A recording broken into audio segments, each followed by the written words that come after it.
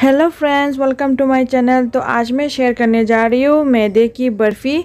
तो चलिए वीडियो को स्टार्ट कर लेते हैं। तो मैदे की बर्फ़ी बनाने के लिए मैंने यहाँ पर लिया है एक कप से थोड़ा सा कम चीनी और जिस हिसाब से मैंने चीनी लिया है, उसी हिसाब से मैंने एक कप से थोड़ा सा कम मैदा लिया है और लिया है यहाँ पर चार बड़े चम्मच देसी घी।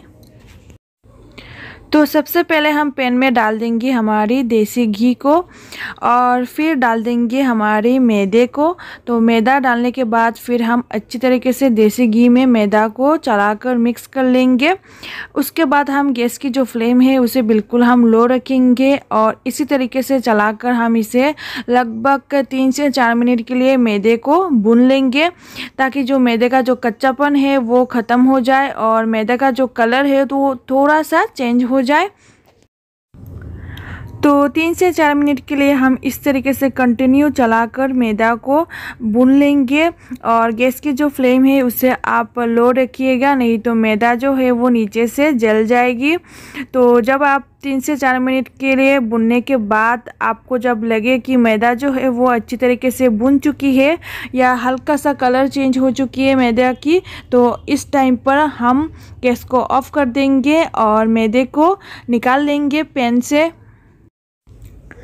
तो यहाँ पर जिस पेन में हमने मैदा को बुने थे उसी सेम पेन में अब हम डाल देंगे आ, हमारी चीनी को और फिर इसमें डाल देंगे थोड़ा सा पानी लगभग तीन से चार चम्मच पानी इसमें डाल देंगे। तो अब हम चीनी की एक तार वाली चाशनी बनाएँगे। तो अब हम गैस की फ्लेम को मीडियम रखेंगे और चीनी को इस तरीके से लगातार चलाते हुए चीनी को अच्छी तरीके से पानी में मेल्ट कर लेंगे पहले। तो दो से तीन मिनट के बाद जब आपको लगे कि जो चीनी है वो अच्छी तरीके से पानी में मेल्ट हो चुकी है, तब हम एक बार चेक कर लेंगे कि हमारी जो चाशनी है वो अच्छी तरीके से बना है कि नहीं।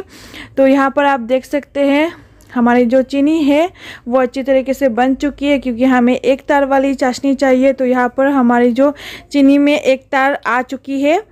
तो अब हम इस स्टेज पर डाल देंगे हमारी मैदा को।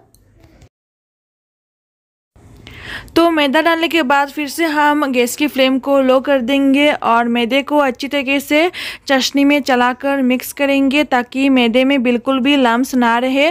तो इसी तरीके से चलाकर हम दो मिनट के लिए मैदे को चशनी के साथ पका लेंगे।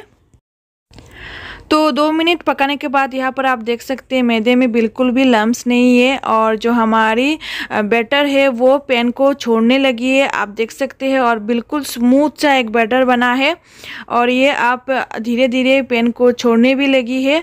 तो इसका मतलब हमारी जो ये मिठाई है वो अच्छी तरीके से बन चुका है। तो अब हम गैस को ऑफ़ कर देंगे और बैटर को हम एक थाली या फिर कोई भी डब्बा में हम इसे सेट कर लेंगे, जहाँ पर भी आप इसे सेट करना चाहते हो, वहाँ पर आप इसे डाल दीजिएगा।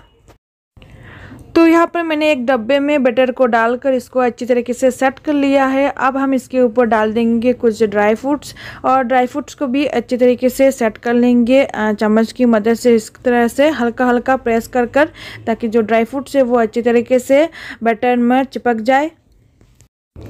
तो अब हम इसे लगभग 10-15 मिनट के लिए बर्फ़ी को सेट होने के लिए रख देंगे। तो 10 से 15 मिनट होने के बाद मैंने डब्बे से बर्फ़ी को निकाल लिया है। तो यहाँ पर आप देख सकते हैं, हमारी जो बर्फ़ी है, वो पूरी तरीके से सेट हो चुकी है। तो अब हम इसको कट कर लेंगे। तो यहाँ पर आप अपने मनपसंद कोई भी शेप देख सकते हैं बर्फ़ी को। और तो चलिए कट कर लेते हैं। पहले बर्फ़ी को बहुत ही आसानी से आप देख सकते हैं, जो बर्फ़ी है, वो कट हो रही है। तो ये लीजिए फ्रेंड्स, हमारी मैदे की बर्फ़ी बनकर तैयार है। बहुत ही आसान है इसे बनाना। तो आप भी इस तरीके से बनाकर एक बार ट्राई ज़रूर करना और ये हमारी जो मैदे की बर्फ़ी है वो खाने में भी बहुत ही टेस्टी है। तो चलिए आज के लिए इतना ही। मिलते हैं नेक्स्ट वीडियो पर। तब तक के लिए बाय।